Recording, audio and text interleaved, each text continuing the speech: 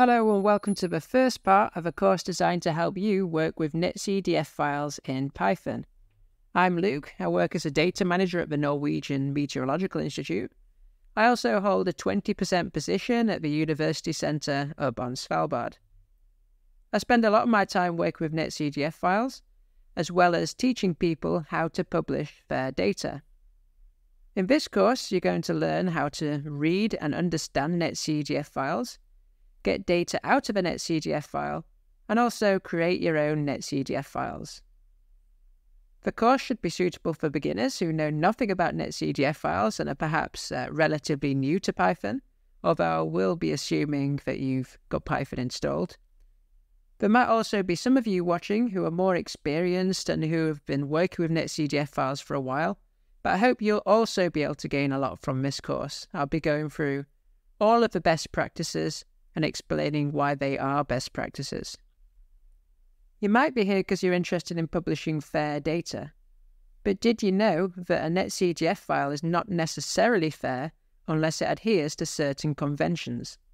So throughout this course, you'll learn all about the climate and forecast conventions, or the CF conventions, as well as the attribute convention for data discovery, or the ACDD conventions and you'll learn how to make sure that your NetCDF files are compliant with them. In the description below the video, you'll find the current contents of the course with the links to each video. But if you think anything is missing, please let me know in the comments and I will consider extending the course and making uh, more videos. I've also made a Jupyter book to accompany this course. It contains all the code that you're going to see on the screen, accompanied by descriptions and explanations. So go and check that out. There's a link down in the description to the part that accompanies this first tutorial. You can, of course, copy and paste some of the code from there if that's easiest for you.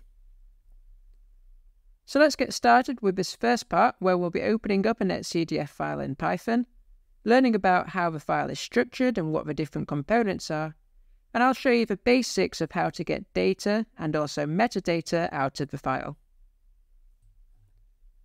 So I'm going to work in VS Code that you can see here, but you're free to work in Spyder or Jupyter Notebook or whatever you're most comfortable with. The first thing to do is import some modules that we're going to use today. The first one is Xarray, and if you've not got it installed already, you can do that with pip install Xarray in your terminal. This is not in Python, so VS Code is nice because it's possible to access a terminal within the same window, but you can of course just go to your terminal uh, externally and do the same thing. And we're also going to need to do pip install netcdf4, which Xarray is dependent on. Now, you can use netcdf4 as a different module to interact with netcdf files in Python. netcdf4 is very powerful and you can do a lot with it. But I think the syntax in Xarray is a bit nicer and easier to work with. So throughout this course, we're going to stick to Xarray. So now let's go ahead and import our modules. So import Xarray as XR. And let's go ahead and load in some data. So I'm going to give you a URL first, we're going to call netcdf file. And I'm going to suggest that you copy and paste this URL from the description or in the uh, notebook if you're if you've got that open. So there we are. And I'm going to go ahead and create a new object called xrds equals xr.open dataset. And that's going to be netcdf file. If I run this, and actually, I'm also going to print XRDS so you can have a look at what's output. I'm going to open the output terminal and run that again.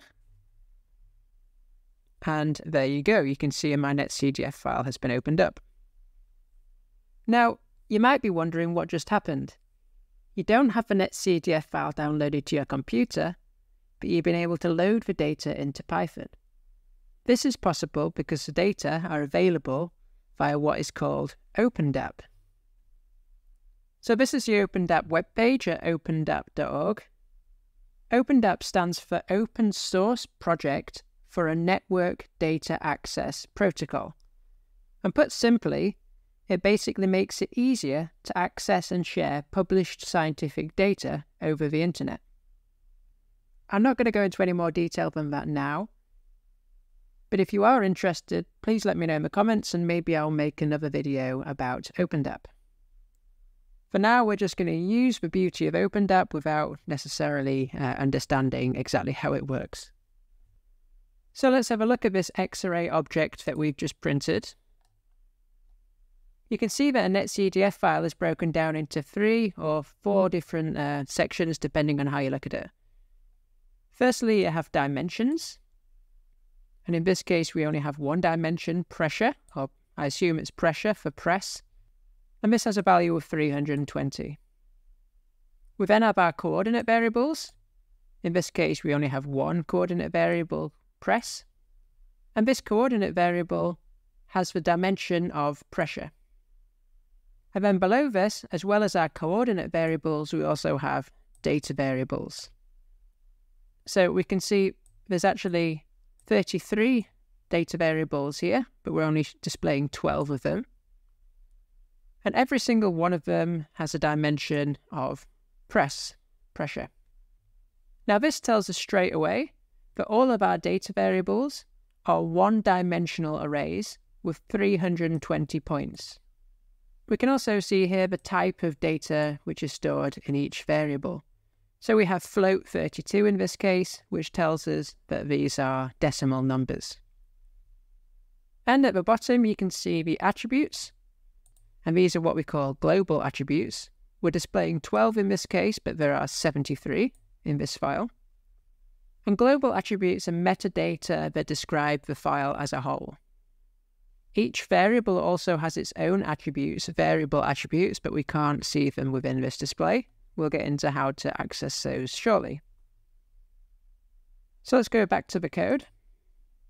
I'm going to get rid of this print for now. So let's go ahead now and access each of those different components in turn, starting at the bottom with the attributes. So we can do that by typing in xrds, the name of our Xarray object, dot attributes and before I save that as something, I'm going to just uh, print it so we can see it again in below. And I'm going to run that. And what we can see is that all our attributes have been printed here in a Python dictionary. You can see that here with these um, funny curly brackets. Now that output is not particularly nice to look at, so if you want to have a uh, display that's a bit easier, you could do something like for um, attribute value in xrds.attributes.items and then print attribute value. And then we're also going to make sure we have a line break in between them. If I run that now, we can open this up and we can now see each of the different attributes on a new line. We can also access an individual attribute by doing xrds.attributes and then the key or the name of the attribute that you want to access. So perhaps one of the most important attributes in an netcdf file is the conventions. And I'm going to print that so we can see the value in the terminal. If I hit run, we can see that in this case, this netcdf file should be compliant with the CF conventions, version 1.8, the attribute conventions for data discovery, version 1.3, and the OceanSites manual, version 1.4. And this information is really useful because it tells you that the data creator should have been looking at these uh, conventions and making sure that this netcdf file is compliant with them. And these conventions also show you, as a data user, but also a machine, how to read and understand all of the contents of this netcdf file. So this is a home page of the attribute conventions for data discovery. And as the name suggests, uh, these are conventions for discovery metadata, which helps someone uh, find or discover a file. So, in the contents of a NetCDF file, the attribute conventions for data discovery uh, state which global attributes you should be including in your NetCDF file. There's a list of highly recommended, recommended, and also um, suggested attributes. So if you see any of these terms within your NetCDF file, you can come here and uh, read what is meant by that to make sure that you have the same understanding of what this attribute is as the data creator had when they filled it in. The other conventions I'd like to quickly introduce you to are the CF conventions, or the climate and forecast conventions. At the time of recording, we're up to version 1.11, so we can have a look at this in HTML. Now, this is a very long document. You, of course, don't have to read all of it, but you can think of this as a one-shop place to go if you want to know how to structure anything inside an NetCDF file.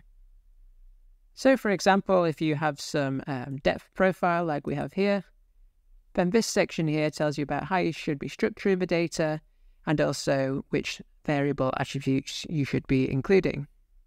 So as these conventions have been referred to in the file, you can expect that the person who has created that file should have familiarized themselves with these conventions and the data should be compliant with them. And ideally, they should have also run their NetCDF file through a checker, which should tell them if their NetCDF file is actually compliant with the CF conventions. Again, there'll be a link to these conventions down in the description, and I'll be referring to these conventions on and off throughout the course.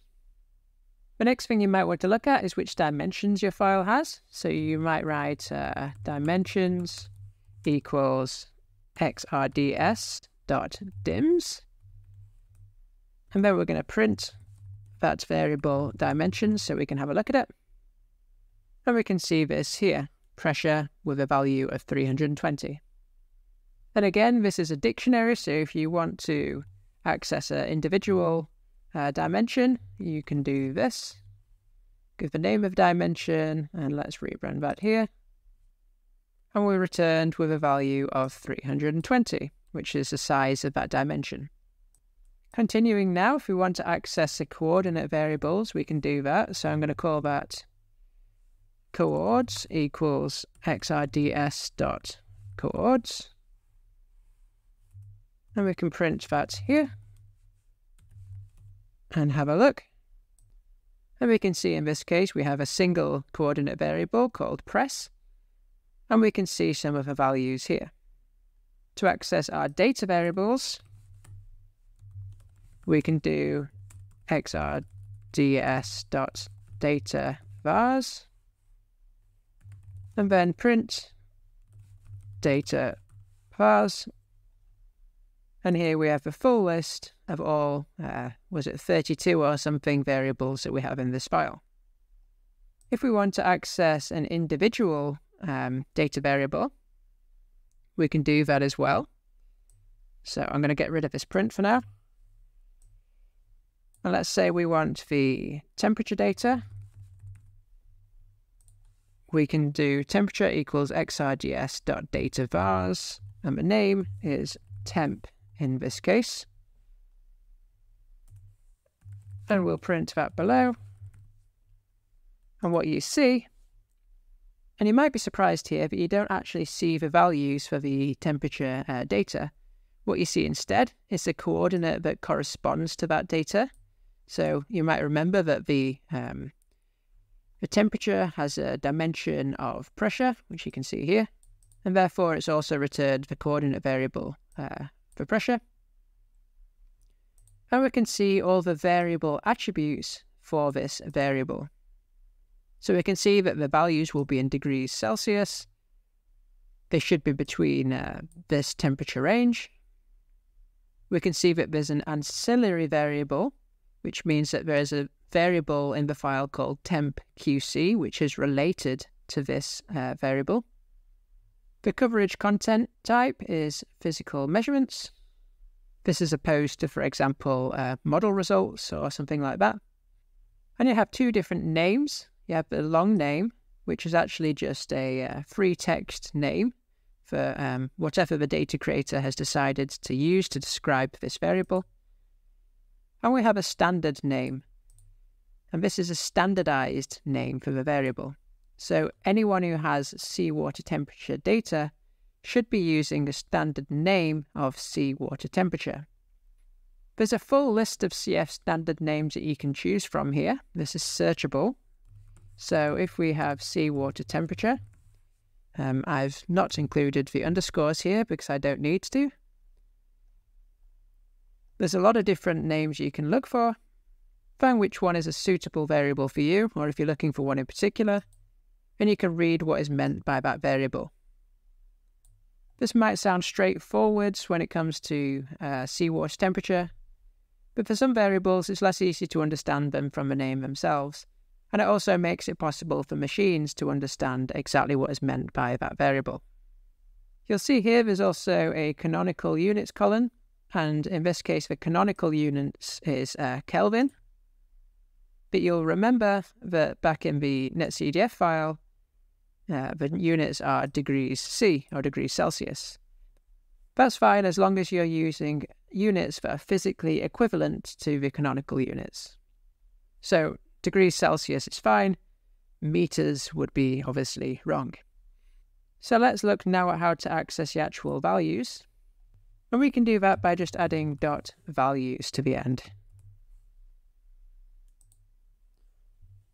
And this exports the data into a NumPy array. In this case, because there's only one dimension, it's a one-dimensional array. But if your um, variable has two dimensions, you can export the data into a 2D array and so on. Now let's say we want to just look at the uh, variable attributes. So we can call this uh, temp the attributes. And we can do uh, xrds vars temp again and then dot attributes. And if I print that and hit run, you can see we have a Python dictionary of all the attributes. And again, if we were to, for example, look at just an individual one of those, we can do standard name, for example, and run that again. And we return just the value for the standard name variable attribute. So that's everything for part one. I hope you'll join me in part two, where we'll be looking at how to plot some of the data. And just a polite reminder that if you do use some of these data in a publication of your own, you should cite them in the same way that you cite a paper in the list of references. You can also write a statement in the data availability statement if you need to, but this should be as well as citing the dataset in the list of references, not instead of. And the recommended citation for the data used in this tutorial can be found in the description of this video.